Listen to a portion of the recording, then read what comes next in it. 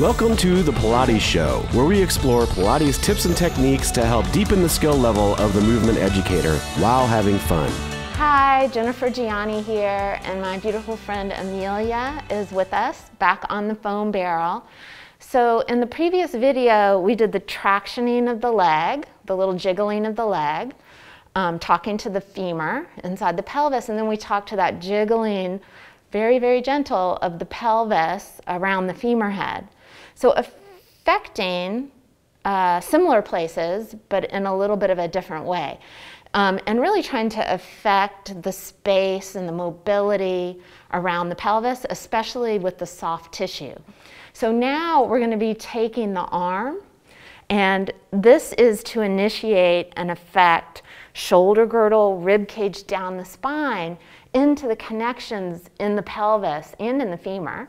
Um, again, to create more space, uh, more good mobility, um, and what I'd like to say like onlineness for the pelvis.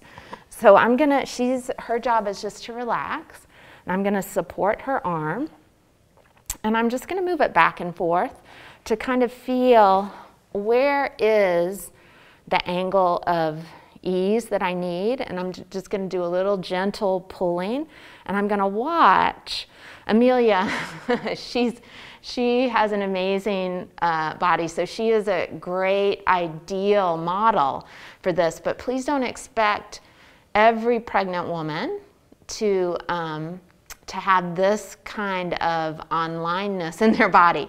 So as I just do this really gentle tug of her arm bone, I'm seeing a gentle jiggle through her head all the way down into her leg. So that, that's really the ideal that we want to see.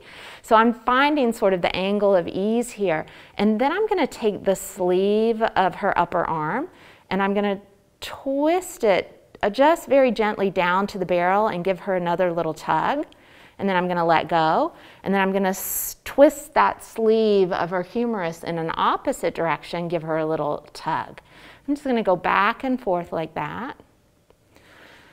And her job, again, is just to surrender into that barrel. And you can see what the spiraling of the arm is doing.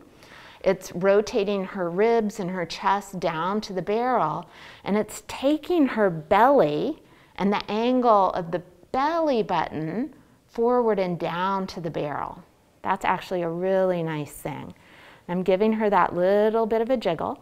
In a moment, I'm gonna let go and I'm gonna get my baby doll. I'm gonna have her stay in this same position and I'm gonna show you why this is really a really nice, beneficial position for the mom. Now, during pregnancy, this is great, right? Because we wanna kind of again, talk to the whole body. Not that we're deciding like, oh, we're definitely using this in labor. We, we don't know that, right? But let's say that she has a um, stall at nine centimeters in her cervix. Maybe not on the barrel, but on a flat surface to find this sort of position might help um, the baby further tuck mold, and release, for instance. All right, I'm going to have her rest her arm, and then I'm going to come behind her.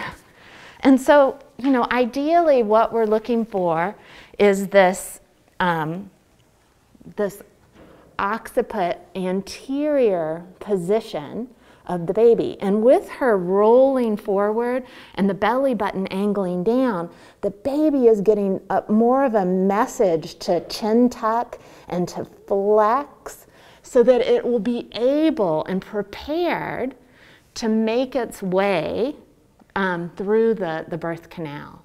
So this again, simple positioning, but very, very effective, great for pregnancy, but also during labor.